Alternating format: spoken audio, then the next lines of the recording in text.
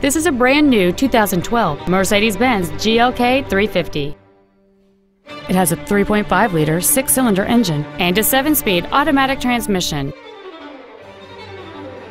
Its top features and packages include the Premium One package, the Multimedia package, a rear view camera, heated front seats, satellite radio, and a large dual panel panorama sunroof provides both the front and rear seat passengers with a view of the sky.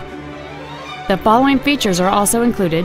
Steering wheel memory settings, air conditioning with automatic climate control, a power rear liftgate, a leather wrapped steering wheel, a trailer hitch receiver, a security system, a passenger side vanity mirror, a traction control system, a split folding rear seat, and roof rails.